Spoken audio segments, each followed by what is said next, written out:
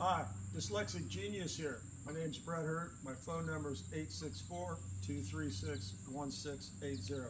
Today I'm going to talk to you about the bun feet on a credenza because credenzas weigh about 120 pounds.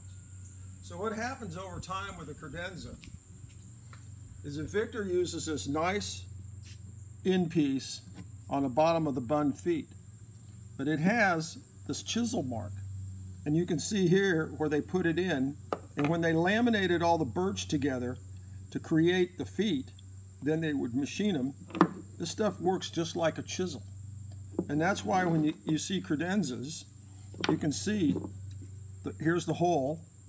It's splitting right where they laminated everything. So what I did was, I had three broken ones, so I did four new ones. This one, I drilled out the centerpiece again to show you that you're going to have to put a peg in to glue everything together. But you can see here, I didn't clean this off, and they don't put very much glue. They just glued the peg. The glue I use is this Gorilla Glue. This stuff is totally nuke proof, and this is the one you have to put water on the wood and then add the glue, and it just holds it really good. When I'm done, the bottom of the feet, I'm going to cut out some cork or felt for it for the floors. This isn't complicated, but things you need to look at. When I got the credenza, all I had were pieces of feet. And I'm thinking, oh joy. And this is my tip for the day.